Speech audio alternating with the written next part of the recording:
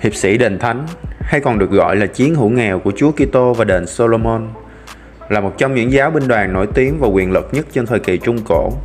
Được thành lập vào năm 1119 bởi Hector Pizen và một nhóm hiệp sĩ người Pháp.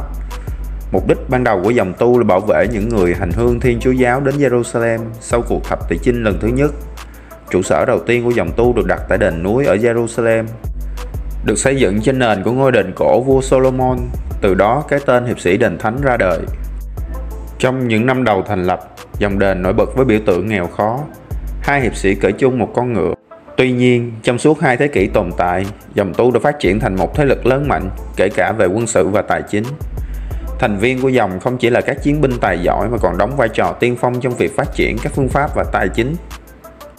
Nền tảng cho ngân hàng hiện đại, họ kiểm soát hàng nghìn bất động sản rải rác khắp châu Âu, thu thuế và cho vay, kể cả với các vương triều Hồi giáo, trở thành một tổ chức vô cùng quyền lực. Các hoạt động quân sự của hiệp sĩ đền thánh nổi bật trong nhiều cuộc chiến quan trọng của các cuộc thập tử chinh, bao gồm trận Motisat năm 1177, trận Hattin năm 1187 và cuộc bao vây Acre năm 1291. Tuy nhiên, sau khi thành Acre, một trong những thành trì cuối cùng của các thế lực Kitô giáo tại Đức Thánh, thất thủ, dòng tu dừng mất đi vai trò quân sự quan trọng, các hiệp sĩ đền thánh buộc phải rút lui về châu Âu. Sức mạnh và ảnh hưởng của dòng tu không chỉ nằm ở quân đội mà còn ở những hoạt động tài chính tiên tiến.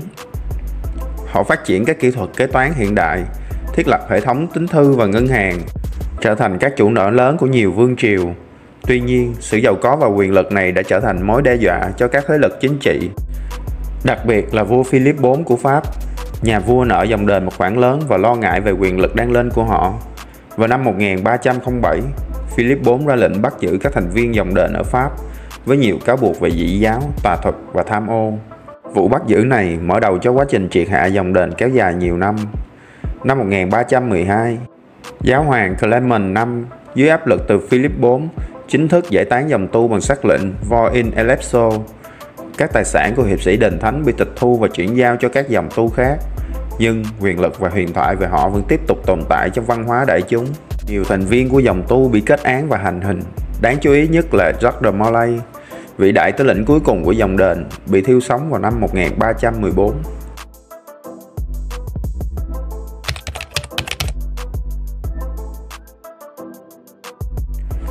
Vào thế kỷ 12, trong bối cảnh lịch sử đầy biến động, một tổ chức tôn giáo quân sự được thành lập với những quy tắc và cấp bậc nghiêm ngặt.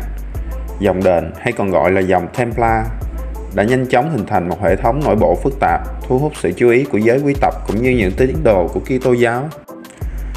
Ban đầu, các thành viên của dòng đền mặc dù được phép gia nhập một cách tự do, nhưng rất nhanh chóng, một hệ thống cấp bậc đã được thiết lập.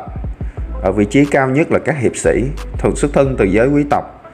Những cá nhân này là những người duy nhất được quyền mặc áo choàng trắng trên nền áo thầy tu trắng và được phép sở hữu đến 3 con ngựa trong khi những người có chức sắc còn được phép sở hữu tới 4 con. Và tiếp theo là hạ sĩ quan hay Sanjan the Master, bao gồm những người phục vụ bên trong dòng tu. Họ được chia thành hai nhóm, nhóm vũ trang, bao gồm những kỵ binh nhẹ, và nhóm lao động, đảm nhận những công việc thiết yếu như rèn, làm yên ngựa và canh tác. Tiếp đó là giáo sĩ, những thầy tu đảm nhận trách nhiệm tổ chức các lễ nghi và nghe xưng tội.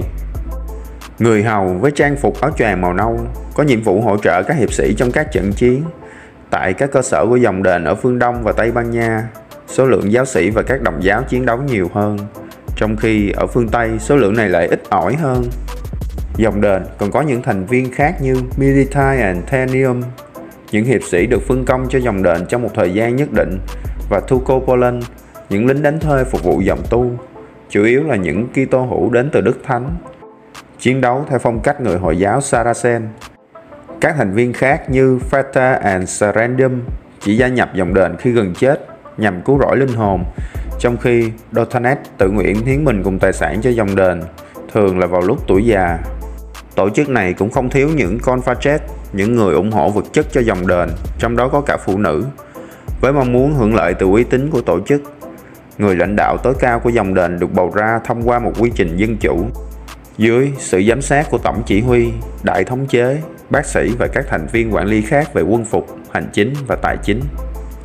Biểu tượng của dòng đền là những thánh giá đa dạng, không chỉ là biểu tượng tôn giáo mà còn là biểu tượng của quyền lực. Những thánh giá này, từ thánh giá của người sale với nhánh bung ra như ngọn lửa đến thánh giá hình học tám đầu, có vẻ như chứa đựng thông điệp bí ẩn về một trật tự sâu xa nào đó. Dòng đền đã trải qua nhiều giai đoạn lãnh đạo với những cái tên lừng lẫy như Hugo của Payen, Robert de Caron và Jacques de Molay. Những người đã để lại dấu ấn sâu đậm trong lịch sử của tổ chức này. Những câu chuyện và truyền thuyết xoay quanh dòng đền không chỉ phản ánh một thời kỳ lịch sử, mà còn là minh chứng cho sự phức tạp và bí ẩn của một trong những tổ chức tôn giáo quân sự hùng mạnh nhất trong lịch sử.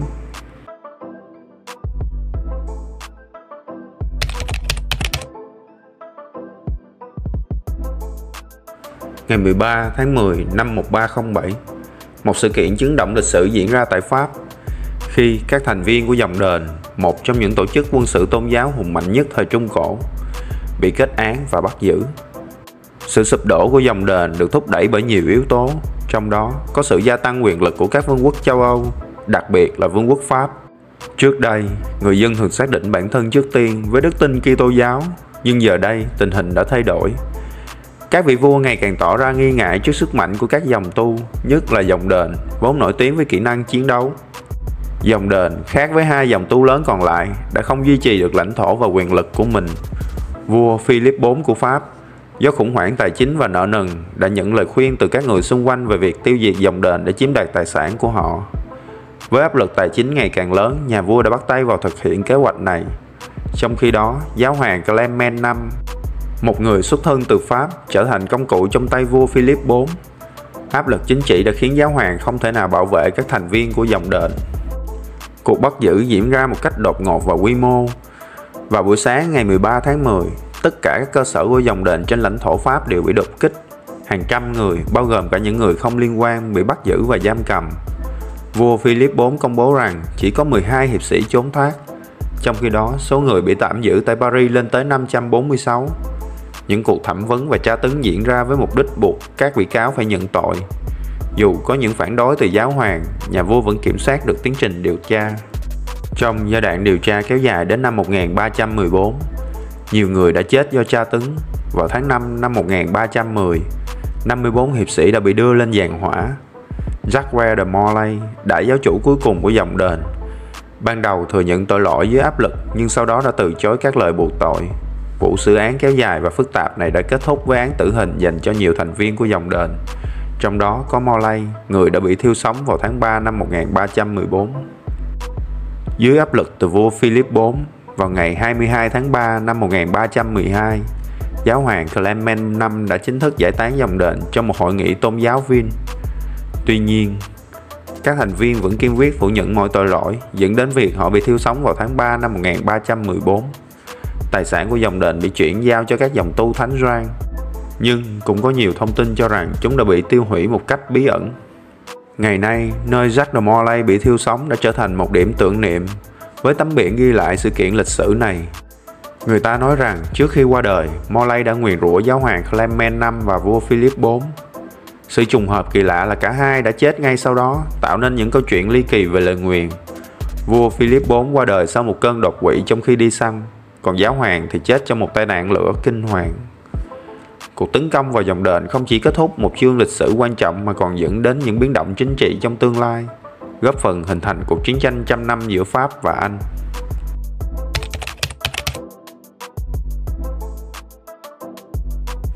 Vào thế kỷ 14, sau khi bị giải tán dưới áp lực của vương triều Pháp và giáo hội, dòng đền, một trong những tổ chức hiệp sĩ huyền thoại nhất lịch sử, đã trải qua một cuộc khủng hoảng trầm trọng.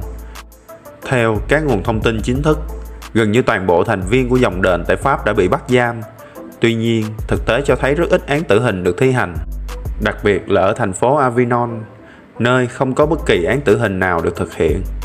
Ở những vùng không nằm dưới quyền lực trực tiếp của vua Philip IV, nhiều thành viên của dòng đền được yên ổn, trong khi một số khác thì bị truy nã sự mất mát giới tinh hoa lãnh đạo và trung tâm quyền lực tại Paris đã làm suy yếu đáng kể vị thế của dòng đền. Các hoạt động của họ dần trở nên khu vực hóa, không còn mang tính chất toàn cầu như trước. Tại Kibro, nhiều chức sắc bị giam giữ đến chết, trong khi ở Tây Ban Nha, một số thành viên được tuyên bố tự do. Một lá thư từ giáo hoàng sau này đã xác nhận rằng việc lên án toàn bộ dòng đền là không có cơ sở và chỉ có một vài cá nhân riêng lẻ bị cáo buộc phạm tội. Năm 1319, vua Dionysius của Bồ Đào Nha đã thành lập dòng tu và hiệp sĩ Jesuiti nhằm tiếp nhận tài sản của dòng đền. Việc này diễn ra mà không có sự chi nã của Bồ Đào Nha, vì điều đó trái với lợi ích riêng của họ. Những hiệp sĩ dòng đền chạy trốn khỏi vương quốc Pháp đã được kết nạp vào dòng tu mới. Nhưng từ đó, dòng đền chỉ còn được nhắc đến trong sử sách. Mãi đến thế kỷ 18, sự quan tâm đến dòng đền mới được hồi sinh. Trong bối cảnh phục hưng dòng đền, nhiều tổ chức tự nhận mình là hiệp sĩ dòng đền hoặc khẳng định có liên quan đến dòng đền. Những tổ chức này hiện nay mang nhiều định hướng khác nhau, từ công giáo qua hợp nhất thiên chúa giáo cho đến không có tôn giáo. Một trong những tổ chức nổi tiếng nhất là Oro Tepmi Orandit. Trong khi dòng tu của hiệp sĩ đền thờ tại Jerusalem được Napoleon Bonaparte công nhận vào năm 1705, có khoảng 5.000 thành viên và nhiều tổ chức tách ra độc lập. Bên cạnh sự tồn tại của các tổ chức hiện đại, dòng đền còn gắn liền với nhiều truyền thuyết về tác động, bí mật và khó báu. Huyền thoại về việc khởi xướng phong cách Gothic trong kiến trúc châu Âu. Khám phá Bắc Mỹ bởi hạm đội dòng đền dưới sự chỉ huy của Henry Sinclair và những câu chuyện về chén thánh, hộp đựng pháp điển và thuật giả kim đã tạo lên một bức tranh huyền bí bao quanh dòng đền. Sự tiếp tục tồn tại của dòng đền ở Scotland, nơi mà tổ chức này chưa từng bị giải tán công khai, đã dẫn đến nhiều câu chuyện về sự hình thành hội tam điểm, huyền thoại và sự thật đan xen, khiến cho dòng đền vẫn sống mãi trong tâm trí của nhân loại như một biểu tượng cho quyền lực, bí ẩn và sự tái sinh trong lịch sử.